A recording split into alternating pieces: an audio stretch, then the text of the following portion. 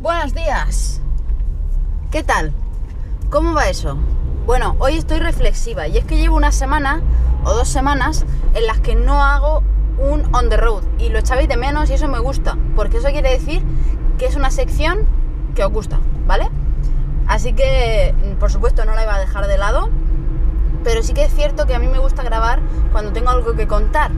Y aunque yo en un momento dijera que pretendía hacerlo a diario, porque últimamente sí que a diario tenía ideas y cosas que quería compartir con vosotros, ha habido momentos en los que mm, no me ha apetecido, no ha habido ningún tema relevante, entonces hablar por hablar creo que es absurdo. Haceros perderos el tiempo a vosotros y hacérmelo perder a mí, pudiendo hacer otras cosas, es una tontería. Entonces pues ya estoy aquí, hoy sí tengo cosas que contar, bueno, más que cosas que contar, un tema para reflexionar. Y es que el otro día leí que, bueno, leí un artículo en el que esa persona que escribía decía que su padre, antes de morir, le había dicho que antes de llegar a lograr la gloria, por así decirlo, tienes que estar en la mierda. O sea, un poco más lírico, ¿no? No, no, no tan heavy, pero sí, antes de pasar por el momento bueno, antes de llegar a los buenos momentos, tienes que pasar por muy malos momentos. Y es verdad, y os voy a contar en qué momento yo me he sentido así en la mierda y que eso me ha llevado a estar genial. Y os lo digo porque probablemente alguno de vosotros ahora mismo esté en ese momento de estar en la mierda y de no puedo estar peor y de qué vida más injusta y de por qué a mí. Y después te das cuenta de que, oye, estoy mejor que nunca, ¿no? Y todo ha sido gracias a eso, a que he estado ahí. Sí. Hombre, vamos a obviar casos como por ejemplo la muerte de un familiar. Eso lógicamente nunca nos va a llevar a estar mejor, pero eso hay que vivirlo hay que soportarlo y hay que pues simplemente aceptarlo, ¿no? Porque al final todos vamos a acabar igual. Eso no es una cosa que te haya tocado a ti porque eres, no sé, porque es más injusto o no. Es que al final nos va a tocar a todos de diferentes formas, sí que es cierto, y a mucha gente quizás mucho más joven que a otros, pero al final eso no podemos, no podemos controlarlo y eso tampoco nos puede hacer llevar a ningún sitio positivo ni negativo, simplemente está ahí y tenemos que aceptarlo poco a poco y, y, con, yo qué sé, con mucha paciencia y con la mejor de las sonrisas, al fin y al cabo. Pero bueno, vamos a temas prácticos, temas que normalmente se dan más en el día a día, como por ejemplo el tema del trabajo, ¿no? Por ejemplo. A mí me ha pasado, eh, me ha pasado dos veces, dos veces. La primera, yo estaba trabajando en una panadería. Y sí que es cierto que, pues, en un principio yo estaba contenta porque había conseguido un trabajo, pero luego con el tiempo me daba cuenta de que estaba explotada, de que ganaba un mísero sueldo y yo creía que valía mucho más que todo eso, pero en ese momento tampoco podía aspirar a más porque no había trabajo de nada, ¿vale? Además de eso, estuve un año en el que yo, que venía de estar en la universidad y de estar acostumbrada a estar en todas las fiestas con la familia, de estar en todas las vacaciones con la familia y de estar en todo, pues me metí a un trabajo, que fue este que os estoy comentando, en el que me perdía todo, todo. Y yo, pues, ¿qué queréis que os diga? Soy una persona muy familiar, soy una persona a la que le gusta estar en todos los ajos y me dolía. Yo cada vez que llegaba, por ejemplo, el Día de la Madre y yo tenía que estar ahí metida, a mí me dolía. Yo cada vez que llegaba el cumpleaños de mi hermana, que es en julio, y yo tenía que estar trabajando, pues me jodía. Y sé que muchos de vosotros tenéis que hacerlo y que, joder, soy un poco quejica, sí. Pero de salir de la universidad, como os digo, de tener todos esos placeres, a perderlos de golpe, pues me sentí súper mal. De hecho, también me pasaba que es un trabajo en el que, como había confianza con esa persona, con mi jefe, pues en cualquier momento que yo tenía un día libre me llamaba y me decía que tenía que ir para allá porque ese día tenía que irse a comprar tarta y al final pues tenía que echarle una mano y ya me daría esa hora otro día. Y tú dices, tío, o sea, tengo mi día libre planeado y ya mm, ya está, ya está jodido, ¿no? Es como que nunca estabas tranquilo en tu día libre. De por supuesto, nunca era domingo. O sea, los sábados y domingos eran los días que más se trabajaba ahí. Los días que más. Y por supuesto, todas las fiestas, carnaval, mi hermana salió de hecho de reina de, aquí de las fiestas de Alcantarilla y yo me lo perdí, con lo que eso significó para mí.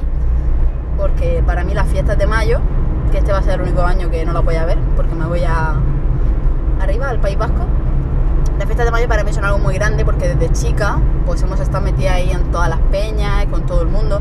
Es un momento del año, es dos, son dos semanas en las que te juntas con toda esa gente que el resto del año no suele juntarte. Y la verdad que te lo pasas muy bien, ¿vale? Y pues, comes mucho, bebes mucho. Pues imaginad que ese año que yo estoy trabajando ahí en la panadería, mi hermana se presenta a reina y la eligen. Y yo me pierdo todos los acontecimientos prácticamente. Pues para mí fue doloroso también. Así. Bueno, cuando yo ya me veía que estaba en la máxima de las mierdas, que estaba ya súper cabreada del trabajo, que estaba ya un poco agobiada, que ya se estaban pasando un poco a la hora de pedir cosas, encima de que cobrabas poco, cobrabas tarde y mal, a veces que cobraba el mes siguiente.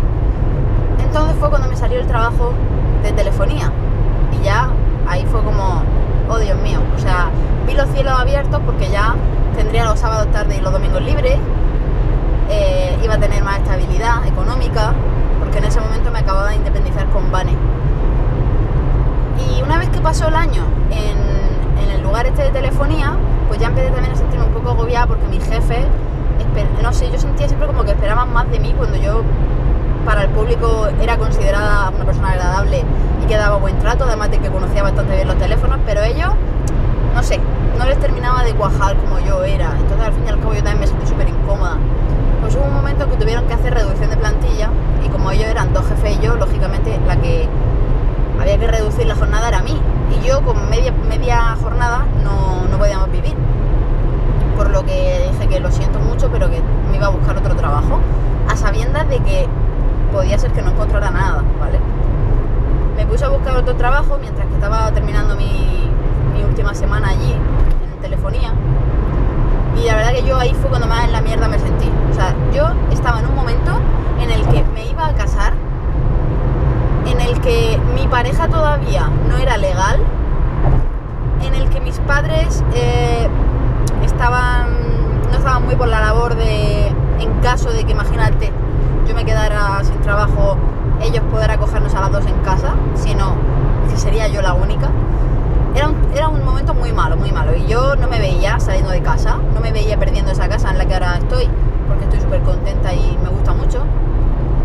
No me veía perdiendo mi, mi independencia. No quería dar la razón a todas esas personas que durante tanto tiempo me han dicho, tú no vas a poder hacerlo. Bueno, pues una semana después encontré trabajo. Un trabajo en el que me pagaban más, en el que yo tenía un poco más independencia, en el que tenía más tiempo libre incluso entre semana. Súper contenta, muy contenta. Pues dos meses después me ascendieron de puesto. Sí que en periodo de prueba, pero me ascendieron de puesto. Y ahora, hoy día estoy súper contenta, me gusta lo que hago, me gusta mi trabajo. eh, y por eso quería deciros que cuando más en la mierda estáis es cuando ahí al final sale sale lo bueno y os vais a encontrar en un momento de vuestra vida muy positivo pero para eso tenéis que pasar por el negativo y con los amores igual pasado que me han puesto los cuernos que me han humillado me han tratado fatal yo misma me he dejado humillar he sido muy tonta cuando he sido más joven y yo misma eh, pues me he dejado de hacer todo eso porque en vez de cortar de raíz muchas veces aguantaba, aguantaba, aguantaba pensando que esa persona iba a cambiar o iba a madurar porque era una persona que era menor a mí. Me he dado cuenta que a raíz de eso y a- por haber pasado por todo eso es que hoy tengo a Vane. Y es que hoy tengo una estabilidad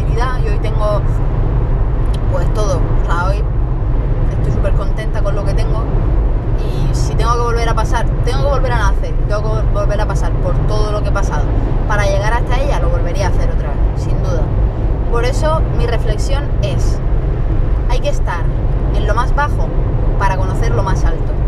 Así que si estáis en un momento de lo más bajito, pues ya lo sabéis. Seguro que muy poquito os llega lo bueno. Y si estáis en lo más alto, pues cuidarlo, mantenerlo todo lo que se pueda y disfrutarlo. Así que nada más chicos, uno de round más